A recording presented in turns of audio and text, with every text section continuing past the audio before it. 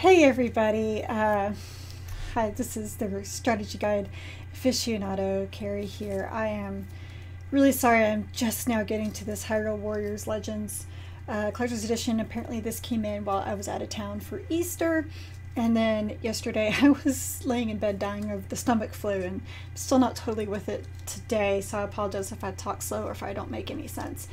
But know, I'm very excited to to have this, even though, yes, I do already own the Hyrule Warriors strategy guide that came for, for the Wii U. Um, but this is for the 3DS version, and so the big thing is, well, why get another one if I already maybe own for, for the Wii U? Uh, well, I guess the question is, then why buy it for, for the 3DS? But if you're wondering, well, can I just go on ahead and buy the one for, for the Wii U? If I have one for the 3DS. Well, that's one thing I'm going going to be looking at to see to see what the differences are real quick. And the first thing I'm going to do is turn off my phone because I totally forgot to do that. Perils of being sick, just not thinking very well. All right, so that's on silent. Okay, so let's go on ahead and tear this thing open and see what is in it. I need to actually go buy this game now you know, everything else, I'm still playing Twilight Princess and fun stuff, and I know Quantum Break will be here before I know it. Okay, well, judging from the back, so this is a little flyer that always appears. There is the uh, e-guide code on the other side, but according to this, uh, it's been completely updated for the 3DS version. There's a complete walk walkthrough for both the Legends mode and the Adventure mode, which I expect because that's what the Wii U one had. Uh, all new rewards, Great Sea, Master Quest, Twilight, and Termina maps. So there's extra content, and this was not in the Wii U. Um, so that seems to be all the only extras. So anyway, let's look in here. I'm also curious if this has some of the um, amiibo content because when the Wii U version came out, double check this, I'm pretty sure there was no amiibo content for it at the time let's see, because amiibo stuff's been added in, which yeah, there is no amiibo content in here, but the amiibo stuff was was added in, which if you got the collector's edition, or I think if you got any version of the guide, you would then get the uh, see here's here's my flyer that has the uh, e-guide in it, so that should should be updated. Probably should go go and check that. All right, I'm not gonna put that on the floor because I'm probably gonna use it, but so as you can see, totally different covers. So they're not trying to totally scam you if you're uh, into getting getting the different covers. Okay. Let's see. I wonder if it's even written by the same people because this says Garitt Rocha and Steve Stratton. And who was this one written by? Does it have it? Man. Look in the back. This one was just written by Garitt Rocha. So we have the same, one of the same authors. I'm sorry if I mispronounced your name. And Steve Stratton, who is pretty much the local Zelda expert at Prima Games. He pretty much has his hand in everything. So as I'm looking at this, yeah, just from the, the table of contents alone, there's a whole whole lot more content. Um, let me see. I'm gonna I'm gonna compare this stuff side by side. We got legend mode. Open up this table, table of contents. Again, I am I apologize for not being too prepared. Okay, so oh my gosh, I wish I wonder if I have enough strength to hold these both up. So if you can look, if you can see it, I'm doing my best here, I promise. So, ah, this is the Wii U one with the legend mode. You can see the list of uh, story missions there. Maybe, could you? I don't know. Let me try this again. Do it this way. There you go. See them all right here. And then here it is for the 3DS. Considerably longer. And I'm seeing plenty of names are not the same. So I am like really excited to play this. Okay, so like the Wii U version ends here probably shouldn't do this one. Not totally 100%. So it's right there. That is where it ends. And so there's all these other missions. So this is a considerably longer longer game, and I'm really curious if some of that's been updated in DLC with um, with the Wii U version because I haven't played it. Let's see, it's got the warriors, the extras. This also has a behind the scenes, although the Wii U version looks like it's not as detailed of a behind the scenes as this one. So this one has a lot of extra content, and Toby has come to join us. Hi, Toby. Yes, baby, I see you. So, and it has, of course, the adventure mode. Excuse me, Toby. Look for the adventure mode section in this one. Oh, I know it's in here because this thing is huge. Oh, there it is. The adventure mode, how it works. Chosen.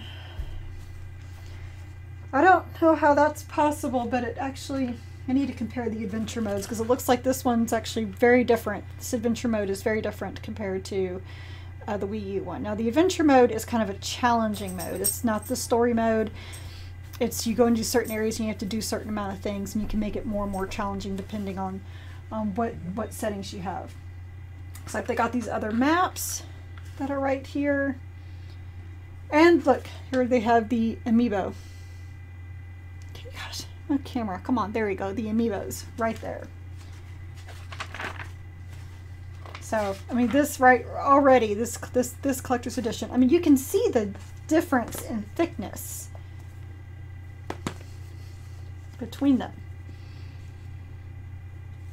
And you know, maybe it's because the Hyrule Warriors Legends has all the DLC, because uh, it's got all the amiibo information. Maybe it's because it's bigger. I don't know, but it makes me want to go and see if I'm missing a whole bunch of DLC for Hyrule Warriors. I haven't checked it out. It's I've been busy doing so many other things, but I mean, if there is, I might want to look into that. Or I'll just play the 3DS version and, and then move on. Um, once again, looks like the um, adventure section is the largest section. Let's see, let's see. There's legend. Where's legend mode begin? Man, lots of lots of information in this. There's a companion fairy list, which I don't remember having companion fairies in Hyrule Warriors. So you got that huge list. I'm really curious how useful that is because I'm also curious what that even means. All right, so we got legend legend mode starting there. So there's legend mode and it goes all the way to Yes, Toby, I know. To here. And then most of that is the adventure mode because that's how comp complex the adventure mode is. It goes till about here because that's when the behind the scenes starts. So yeah, so and I actually could I didn't play very much the adventure mode on the Wii U just I, I, I don't know I didn't have time and it's taking my son's Wii U so maybe I'll find a little bit more I shouldn't say my son's it's mine I let him play it but I may you know this may be better suited for the 3DS to sit down and just you know play a couple of challenges because like I said with the adventure mode like here's here's how it runs. So you get these little sections and you have to complete these certain things and that's what you can get and how, what you need to do to get these certain scores, things like that. So as long, you know, whenever I do my full review and when I actually play the game, I'll be doing a side-by-side -side comparison to see, see the differences, see the accuracy and th things like that. Um, actually has some really good appendices in the back. I'm already getting out of breath. I'm pathetic. Um, looks, what is this? Oh, so it has, okay, so it actually has the story behind Hyrule Warriors. How it kind of comes about. Yes, Toby, I hear you. And the girl Link. So which she is not in Hyrule Warriors, at least. And then here's the, the Wind Waker version, which that was not in Hyrule Warriors, at least not in the launch version. So I'm actually excited about playing all of that. Now most of these characters were heroes. Obviously, we got down here the Wind Waker version was not. Twilight Princess stuff was because I remember Midna. She was there. She was not think everybody else was there because I remember these people because I had no idea who they were because I've never played Skyward Sword. Yes, and the Dark Forces, yes. All of these were there. So those that, that's that's a pretty cool addition. All right, so then in the in the back they have all the different different characters and what they can do. So we got Link and all that. That's kind of cool. They have different versions of Epona, so they have all the different characters so that you can get familiar with the characters and what and what what they can do. Um, see what is all this? All the different enemies.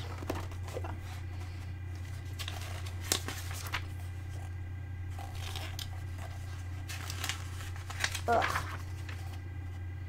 See, what uh, companion fairies, I'm very interested in finding more about that, what that's all about.